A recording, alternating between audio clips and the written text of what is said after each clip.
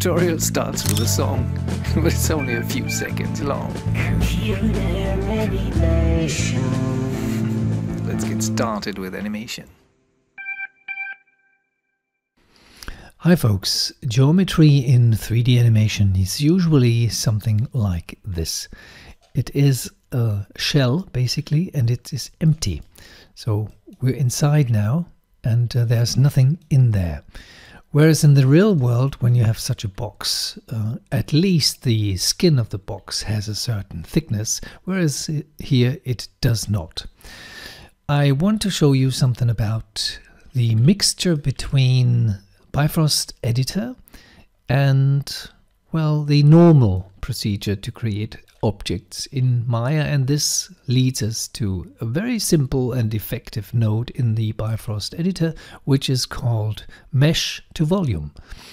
Now we create a mesh, right mouse click here for example and the helix and let's spread the helix a little bit more in height like this and uh, we could animate it and the volume would be animated too but I just wanted wanted to show you how this goes. Now I open under Windows the Bifrost graph editor and here I create a new graph. This is the light blue button here. I can delete the input. I can always reintroduce the input if necessary and what I do now is I middle mouse drag, this middle mouse is important, the helix, which is our mesh, into this field. Now we have the input is our helix and the output is the output.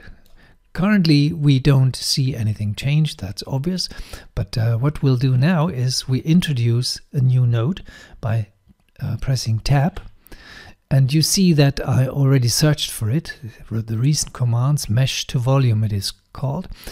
If you don't um, have this here, just type in mesh and then you find lots of entries here, what you can do, smooth mesh for example.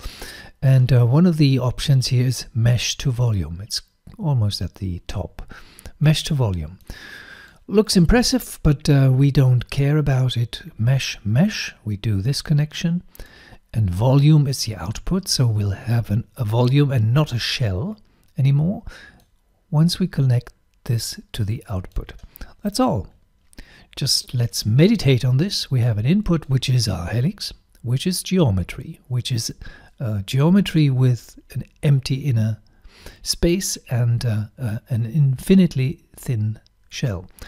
And we feed this into a mesh to volume node and out comes a hopefully a volume.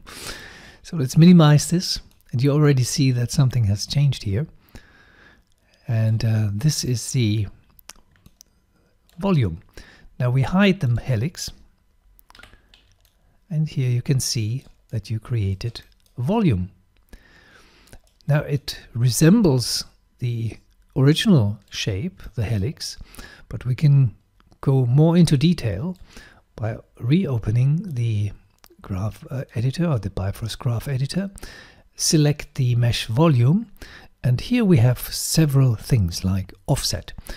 Uh, I give you an example for changing the offset, for example, to 2. Then it gets much bigger. And can we set it to 0? That's where it was. So this is basically the shape of the helix, of the original helix, but a little bit bigger than the original helix. And uh, what you can do now is you uh, change this from the resolution mode from relative to absolute. Go back to relative and change the detail size now from 0.5, which is the default, to 0.1. And here you have a similar effect, very detailed. In order to animate this, you can do several things. You can animate the helix and then the this uh, fog will be animated as well. But basically this is only the starting point. You need colors, etc. I just wanted to show you briefly what this node does.